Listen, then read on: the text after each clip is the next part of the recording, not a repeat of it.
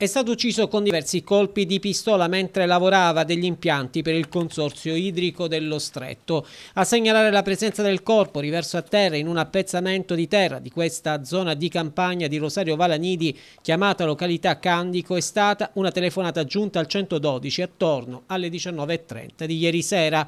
La vittima si chiamava Francesco Cuzzocrea, 61 anni, ed era del posto. Nei suoi confronti in passato erano state fatte segnalazioni di polizia ma risalenti nel tempo e non riguardanti fatti specifici legati alla criminalità organizzata.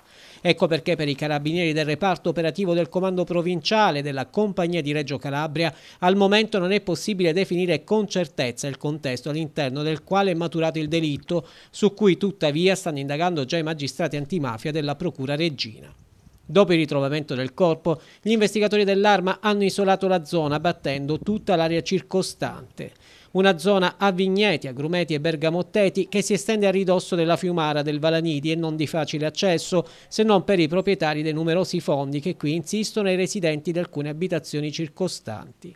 Una zona estesa che ha dato la possibilità al killer o ai killer di agire indisturbati e non escluso alla luce delle modalità e delle circostanze che chi ha sparato conoscesse bene i movimenti e le abitudini della vittima.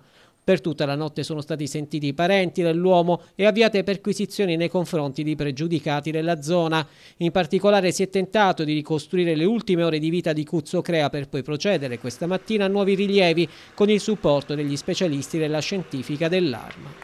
Al momento nessuna ipotesi viene esclusa circa il movente del delitto, ma resta naturalmente il giallo.